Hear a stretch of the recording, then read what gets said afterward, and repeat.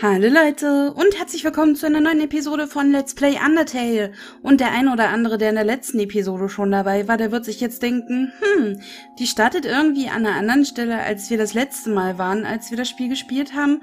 Und damit liegst du vollkommen richtig.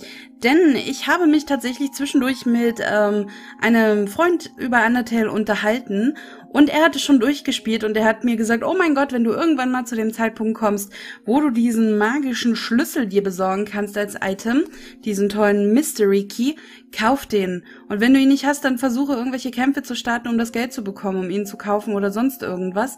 Du brauchst den und musst dir dann unbedingt in, ähm, in der Waterfall City ein Haus anschauen, was vorher für dich noch verschlossen war und dir dort ein bisschen was durchlesen. Es ist jetzt nichts Großartiges, aber es ist wohl ein kleiner, ein, ein, ein kleine, eine kleine Sache, die man sich angucken sollte. Zumindest hat er mir das gesagt. Ähm, ich wollte ihn nicht benutzen, das war jetzt aus Versehen, aber na gut. Ähm, ich habe ihn doch jetzt noch, oder? Mach keinen Mist. Ja, ich habe ihn noch, sehr gut. Und deshalb habe ich den Weg hierher ohne Aufnahme gemacht. Zurück ähm, fahren wir dann zusammen, würde ich sagen. Ich wollte euch bloß nicht zweimal sinnlos den Weg antun. Und da würde ich sagen, schauen wir uns doch mal an, was hier verschlossen war. Hier. Okay. Stand es schon vorher hier? Was, was, was? Ich lebe hier. Okay, und was mit dir? Oh Gott, was habe ich denn ihm für eine Stimme gegeben? Ich glaube, eine Tiefe. Ich fragte Undina, ob wir alle abhängen können, aber sie hat etwas Komisches gesagt. Sie meinte, sie hängt nicht mit einem Mörder ab, aber, hm, ich erinnere mich nicht, jemanden ermordet zu haben, auch wenn ich ein ziemlich brutaler Typ bin. Dann sagte sie, dass sie einen bösen Typen bekämpfen möchte, aber sie scheint von etwas ziemlich schwach zu sein. Sie ging und ist an der Türschwelle zusammengebrochen, also warte ich einfach hier, falls sie mich braucht. Sie hasst es nämlich, wenn man sie warten lässt. Ich denke, wir können später abhängen. Okay, also ist das Undünes Haus? Ist das hier? Kann ich hier rein irgendwie? Hier?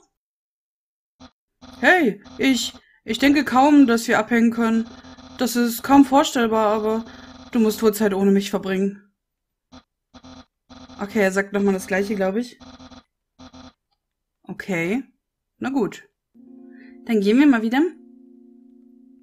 Ähm, hier konnten wir rein. Genau, hier war der Geist. Und hier? Abgeschlossen. Okay, okay, es ist schon mal wahr. Ähm, das heißt, ich muss das Item wahrscheinlich so...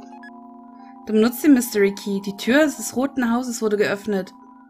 Der Schlüssel verschwand. Okay, dann bin ich aber gespannt jetzt, was hier drin sein soll. Okay. Was steht dort? Big? Bibi? Nee. Ich kann es nicht lesen. Da steht auch nicht Big, das sind zwei Striche, ich weiß nicht genau, was da steht. Liebes Tagebuch. Shirons Schwester ist vor kurzem gefallen. Das ist traurig. Ohne ihre Schwester, die für sie spricht, ist sie noch viel zurückhaltender geworden. Also ging ich zu ihr und sagte ihr, dass sie, Bluki, und ich einmal zusammen auftreten sollten. Ihr hat die Idee gefallen. Liebes Tagebuch. Ich mag es, ein neues Tagebuch für jeden Eintrag anzufangen. Ich mag es, Tagebücher zu sammeln. Liebes Tagebuch, unser Cousin hat die Farm verlassen, um eine Attrappe zu werden. Damit bleiben nur Bluki und ich. Bluki hat mich gefragt, ob ich auch körperlich werden möchte. Aber das ist gleichgültig. Komm schon, Bluki.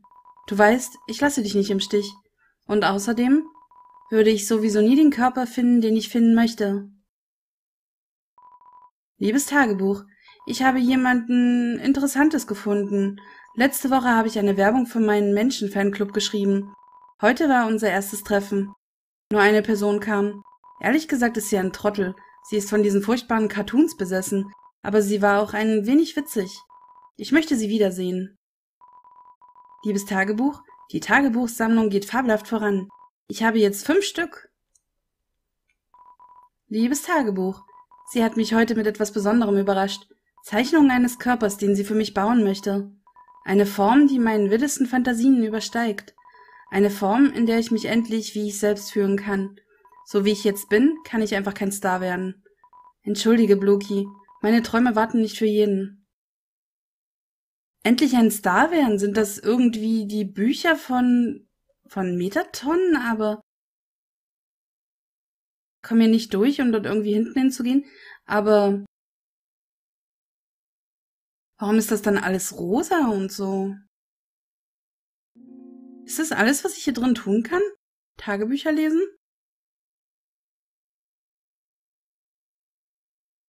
Okay, ich komme hier auch gar nicht durch. Nee, liebes Tagebuch, okay. Nochmal schnell durch. Okay.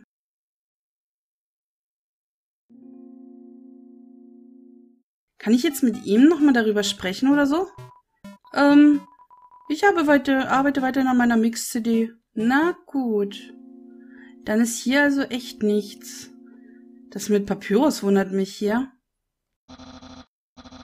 Ich fragte nun Düner, ob wir alle abhängen können. Das haben wir ja schon.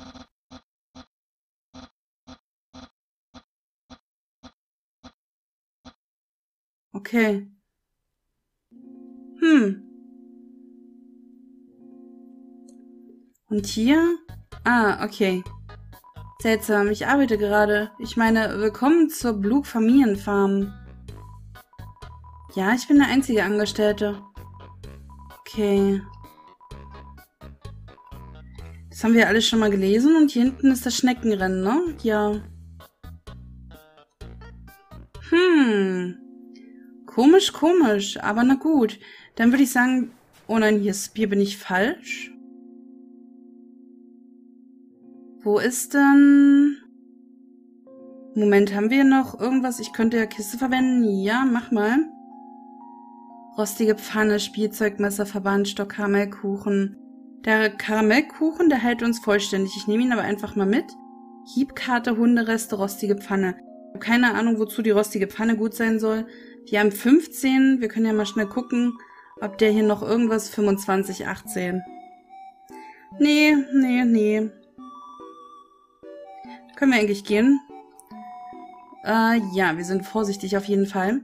Dann war hier unten jetzt der, genau, der Fährmann. Dann tralala, wir möchten auf jeden Fall mitfahren. Damit kürzen wir unglaublich den Weg ab. Wir wollen nach Hotland. Los geht's!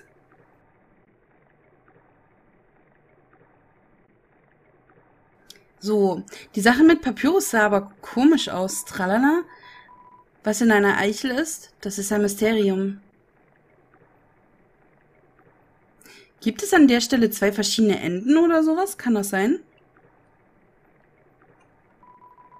Komm doch mal wieder vorbei, Tralala. Okay, ähm, wo war der Fahrstuhl? Hier ist er, sehr gut. Und dann können wir hier... Ach du Scheiße, wir müssen zu rechts rein. Kann das sein?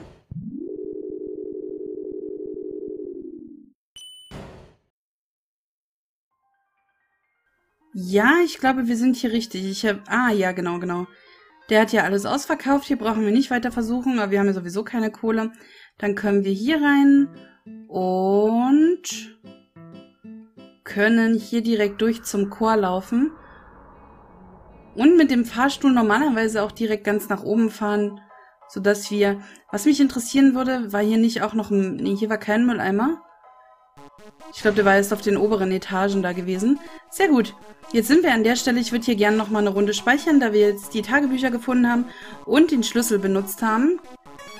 Sehr gut. Und dann würde ich sagen, stürzen wir uns doch mal in den Kampf, oder?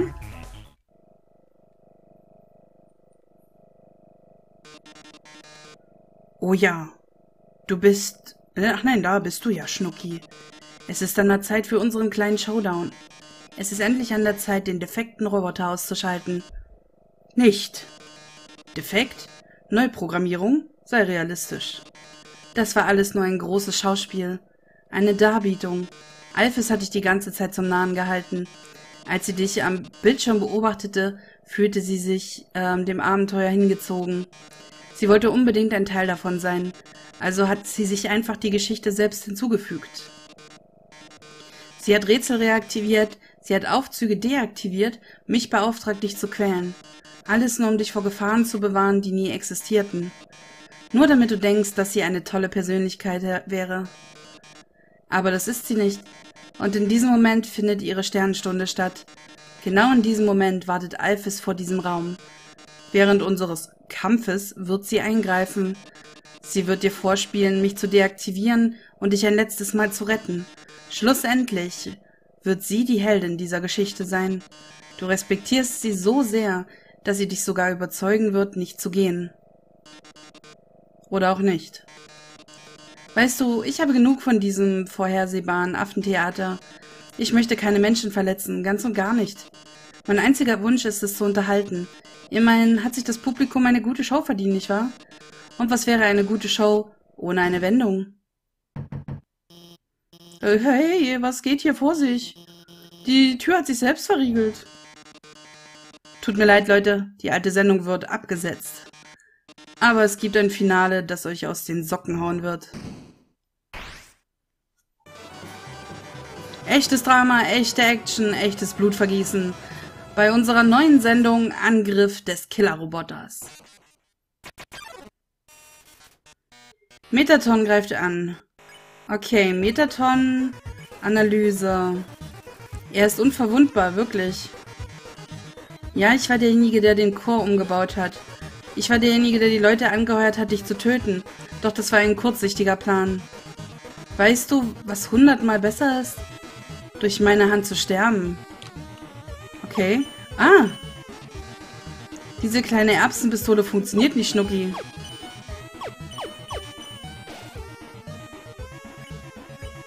Anzünden? Das wirst du vermutlich machen, wenn die Dinge so weitergehen. Hör zu, Schnucki, ich habe dich im Kampf gesehen. Du bist schwach. Wenn du weitergehst, wird Askor deine Seele nehmen. Und mit deiner Seele wird Askor die Menschheit vernichten. Oh, ah, okay.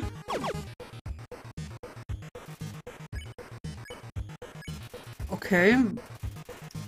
Ich glaube, anzünden ist nicht das Richtige, auch wenn ich nicht wüsste, was man sonst tun soll.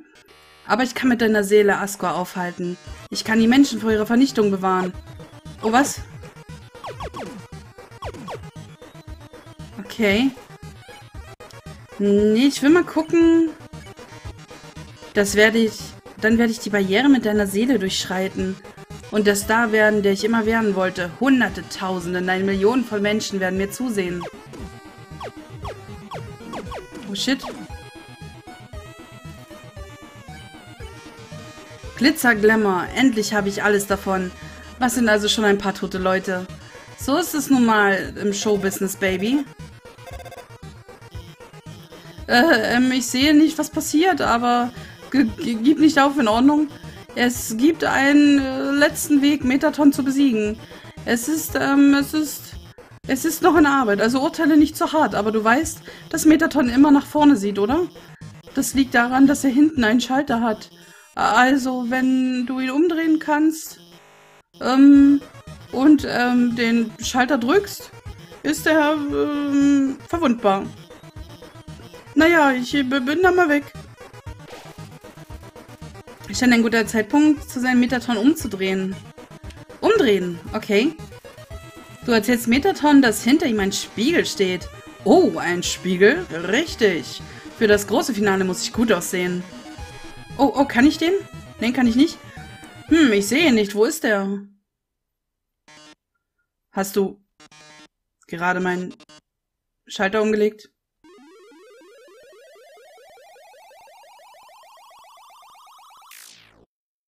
Oh, yes.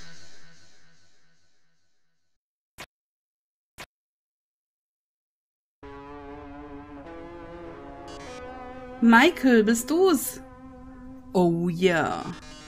Das Drücken meines Schalters kann nur eines bedeuten. Du wartest sehnsüchtig auf die Premiere meines neuen Körpers. Wie gemein. Glücklicherweise wollte ich ihn schon vor langer Zeit zeigen. Also aus Dankbarkeit gibt es eine attraktive Belohnung. Ich werde deine letzten Momente absolut wundervoll machen. Oh Gott, was tut er? Metaton X erlebt seine Premiere. Prallen posieren Drehungen. Seine Schwachpunkte ist ein herzförmiger Kern, ah, das, was er an seinem Gürtel hat. Lichter, Kamera, Action. Was? Ach so, ich, ich hab's gerafft, ich hab's gerafft. Das war schlecht von mir. Riecht nach Metaton. Äh, Drehung? Du drehst dich um und verspottest das Publikum. Was? In diesem Zug ist das Publikum auf deiner Zerstörung aus. Haha. Drama, Romantik, Blut vergießen. Wow. Wow, die schießen. Warum? Oh Gott, die stirbt gleich. Item. Ich werde mir mal Junkfood reinballern. Das Publikum ist angewidert. Ich bin das Idol für jeden. Jetzt muss ich auf alles aufpassen. Ich werde bekloppt. Oh. Gott. Das war mega scheiße. Metaton. Äh, posieren? Trotz deiner Verletzung machst du eine dramatische Pose. Das Publikum applaudiert. Lächle in die Kamera. Oh, wow. Alter Schwede, was? Äh, prahlen? Du erzählst, dass du nicht einmal getroffen wirst. Die Wertungen steigen während des Metaton-Zugs. Oh, es ist Zeit für ein Pop-Quiz. Ich hoffe, du hast deine Tastatur. Das ist eine Aufsatzfrage. Was magst du am meisten an Metaton? Kein X oder Z. Was? Äh, muss ich das Englisch oder Deutsch schreiben? Sprachlos, wer kann dir etwas vorwerfen? Zeit vorbei. Ja, super. Metaton speichert deinen Aufsatz für die Zukunft. Mhm. Ähm, wir posieren nochmal, weil sie das toll fanden. So, Publikum applaudiert. Okay. Dein Aufsatz hat allen dein Herz gezeigt. Ja, wahnsinnig. Warum zeige ich dir nicht meins? Ja, zeig mir das. Das ist sehr gut. Wow.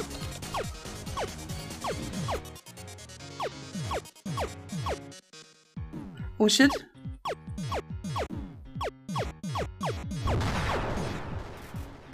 So, ganz schnell Item.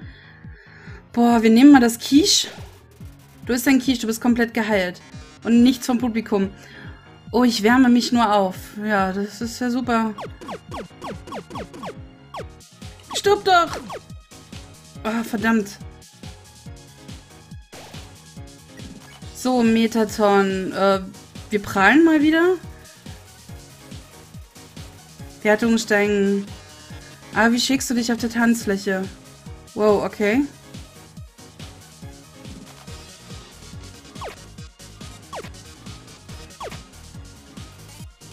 Metaton. Äh, wir posieren mal wieder. Drama plus 100. Kannst du mithalten? Wow, ich weiß nicht genau. Hui. Äh, wir posieren nochmal, weil mir nichts anderes einfällt. Das Publikum nicht. Oh, das war wahrscheinlich dann nicht so gut. Wow.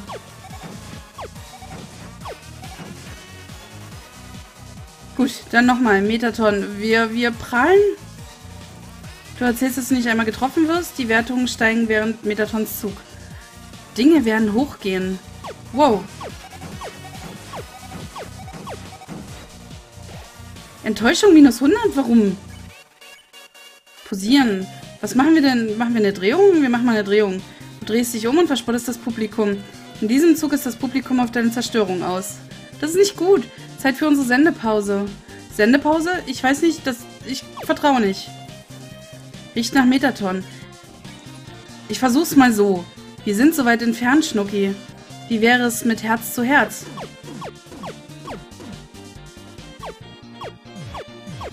Oh, die kommen ja wieder. Das ist ja super.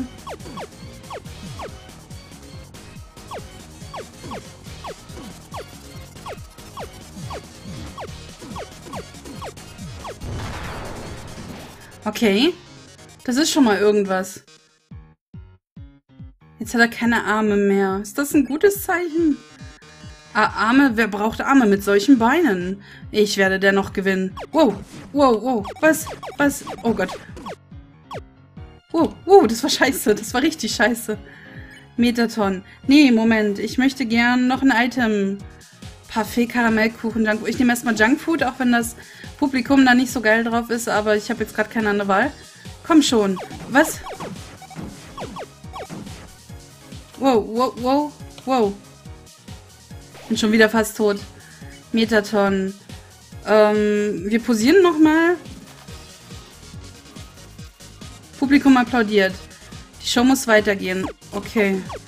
Die Show muss weitergehen. Auf Wiedersehen. Huch. Ich bin fast tot. Ich muss ein Parfait nehmen. Liebt die Marke. Es wurden 14 geheilt. Okay, Drama, Action.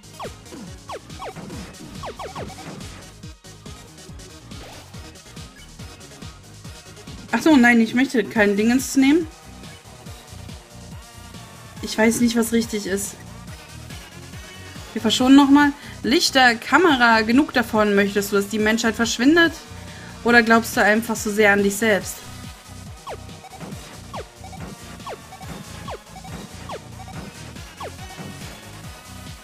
Okay. Haha, wie inspirierend. Nun, Schnucki, entweder du oder ich. Ich denke, wir wissen beide, wer gewinnen wird. Ich befürchte, ich weiß es auch schon. Erlebe die wahre Macht des Stars der Menschheit. Was ist da? Was? Oh Gott, hör auf!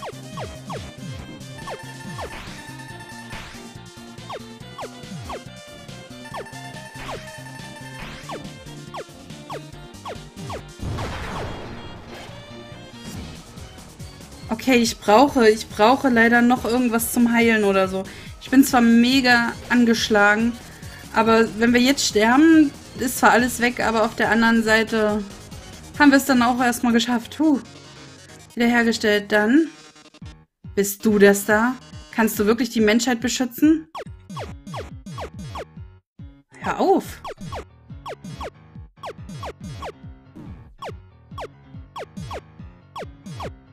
Ach, fuck. Riecht nach Metaton. Aha. Prahlendrehung, das passt, bleibt alles. Ich würde immer noch verschonen nehmen wollen. Oh Gott.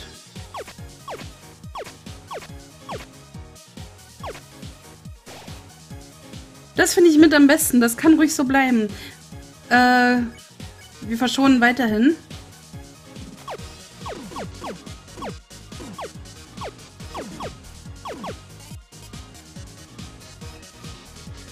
Okay. Metaton. Er sagt gar nichts mehr. Oh Gott, oh Gott. Oh Gott. Fuck. Ich glaube, ich ver verkacke es. Volles Rohr. Und das, wo wir schon so weit sind.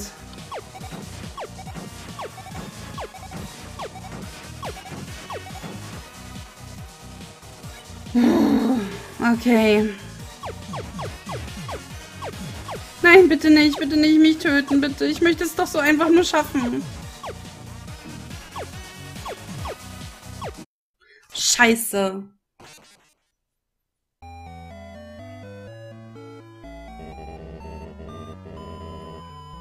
Ich kann noch nicht aufgeben. Ja, ja, mache ich auch nicht. Aber liebe Leute, ich tue euch diesen ganzen Kram nicht nochmal von vorn an. Ähm, ich spiele jetzt so weit, wie wir jetzt gerade eben gekommen sind. Vielleicht ähm, ergibt sich zwischendurch so eine kleine Pausenstelle oder irgendwie sowas. Eigentlich ist die Folge seit acht Minuten vorbei. Ähm, ich überlege gerade, machen wir es in der nächsten? Nee, ich häng's hier hinten noch mit dran, sonst ist das mega kacke. Und ein kleiner Cliffhanger oder sowas. Ich würde das gerne noch hier so abschließen. Deshalb würde ich sagen, wir machen hier mal einen kleinen Schnitt. Ich mache das alleine durch und dann treffen wir uns gleich hier an der Stelle wieder.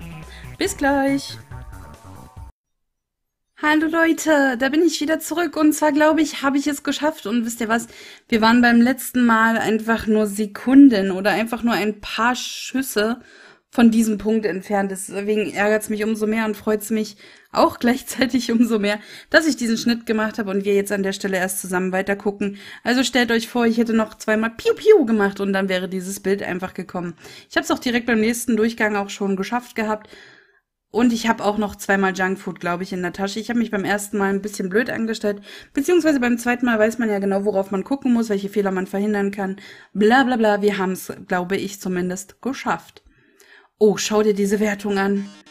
So viele Zuschauer hatte ich noch nie. Das ist ein Meilenstein der Zuschaueraufrufe. Ein wunderbarer Zuschauer hat die Chance, mit mir zu reden. Bevor ich den Untergrund dann komplett verlasse. Schauen wir mal, wer als erstes durchkommt. Hi, du bist im Fernsehen. Was sagst du zu dieser letzten großen Show?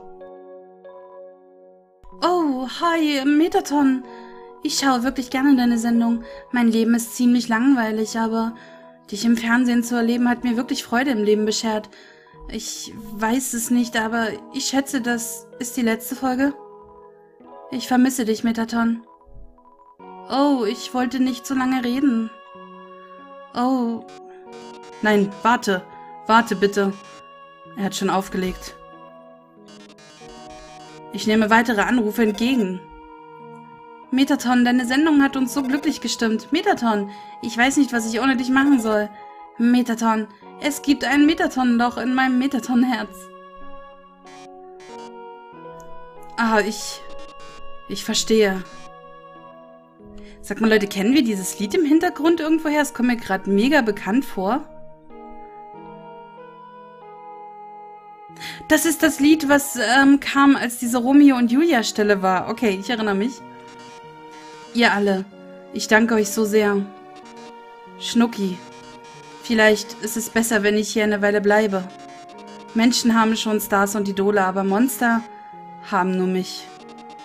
Wenn ich gehe, verliert der Untergrund seinen Funken und hat eine schmerzende Leere, die nicht mehr voll wird. Also ich denke, ich muss meinen großen Auftritt verschieben. Außerdem hast du bewiesen, dass du sehr stark bist. Vielleicht sogar stark genug, an Askor vorbeizukommen. Ich bin mir sicher, du kannst die Menschheit sichern. Haha. so ist es sowieso am besten. In Wahrheit ist der Energieverbrauch dieser Form eher ineffizient. In wenigen Momenten habe ich keine Akkuladung mehr und, naja, mir wird es gut gehen. Mach sie fertig, Schnucki. Und noch einmal danke an alle. Ihr wart ein wunderbares Publikum.